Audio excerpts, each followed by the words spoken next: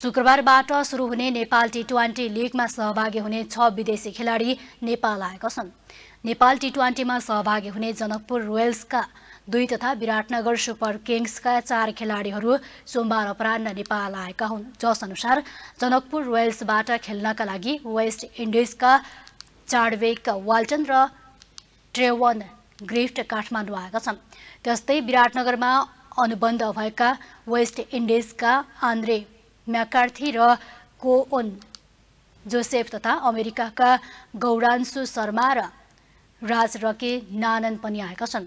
उनीहरूलाई दुई क्लबका पदाधिकारीहरूले विमानस्थलमा स्वागत गरेका थिए। किर्तिपुर स्थित टियु मैदानमा पहिलो संस्करणको टी ट्वेन्टी लिग पुस आठ गतेबाट छब्बिस गतेसम्म सञ्चालन हुनेछ।